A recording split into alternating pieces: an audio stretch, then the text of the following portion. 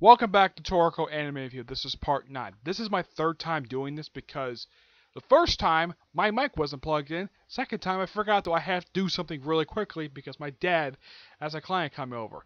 Now I try again. Hopefully we get nothing wrong this time. Alright. Now, this one I was supposed to review just the two OVAs the series had, which is the first one aired in 2009 and the other one aired in the following year. Here's the thing. I found the first one, no problem. I watched it.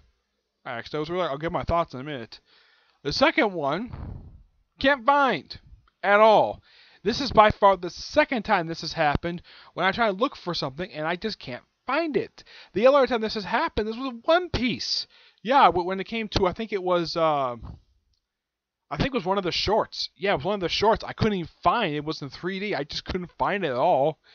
And yeah, I just couldn't find it. So I decided just give up with it. Because I just kept looking and looking and looking. And I just couldn't find it at all. It's like no website has it.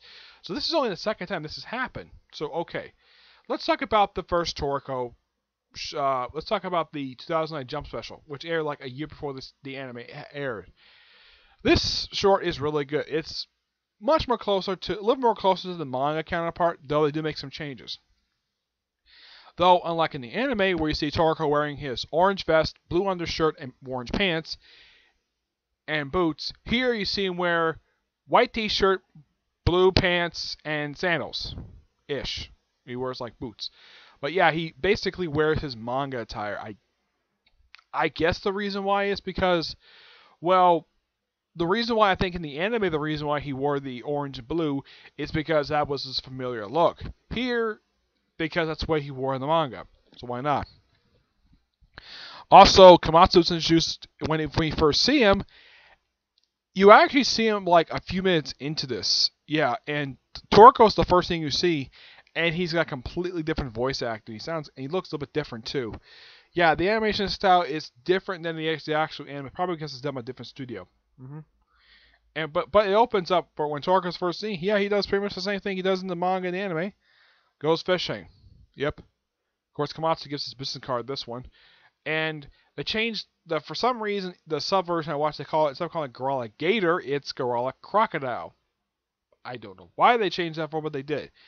Also, when that Gorilla cro- Crocodile is seen, it's green. Don't know why, even though it's supposed to be red. Yep. When Toriko bows this thing, he chops his tail off and pretty much destroys his midsection with his uh, Kugi punch, with his his his uh, his special punch that he does. In the anime, it's they call it like the three punch thing. Here they call it Sun and the Sun King punch, which is like three nails. Yep. Mhm. Yep. What else? Uh, oh yeah, when Komatsu gets uh, when he gets snacked by a leech, it's in the back of his neck. It's on the back of his left hand. Don't know why. Just as it is. Though Toriko pretty much gets up the same way he does with with uh, these specialties which are ingredients with salt water. Let's see. Is there anything else? Um. Oh yeah. Um. Tom's boat is more run down. Looks more looks more run down than it does in the manga and anime. Manga anime is a lot more shinier. This one looks like it's a looks like use a paint job.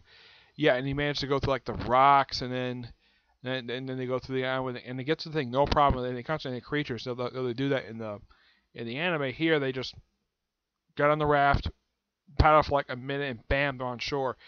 In the, in the anime, this actually took a little bit longer, like about a few minutes longer. Mm-hmm. And let's see what else. Uh, ba ba ba ba ba. I think that's it. Mm-hmm.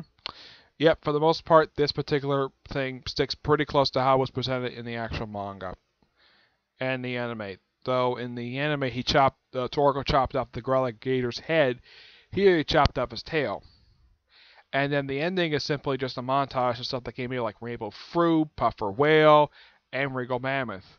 And of course, showing off uh, various characters popped up after this particular arc. You have Coco, then it's Reed, then Sunny, and of course they show off Terry Cloth in a quick little montage. though they look slightly different than they do did in the anime. Yeah. But it, it's a good OVA nonetheless. I kind of wish I could find the second one, but there's no video for it online, so can't find it. so yeah, that's it for this episode. Next video for the series be my top ten. Well, first the probably top ten female characters and top ten male characters. Ladies first, okay? But uh, enjoy. See you on my next video. Bye.